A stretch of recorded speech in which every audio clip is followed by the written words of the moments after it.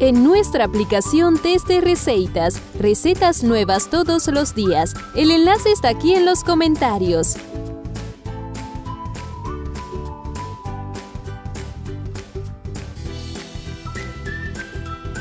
La receta detallada y la lista de ingredientes están aquí en los comentarios o la descripción de este video.